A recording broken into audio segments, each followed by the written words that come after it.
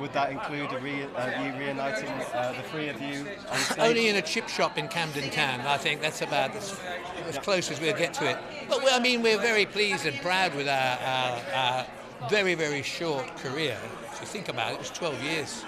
So, yeah, we, we get on okay, but, you know, There's a lot of talk that you might even be coerced into a headline in Glastonbury next year. nobody needs coercing. You either want to do something or you don't. You can or you can't.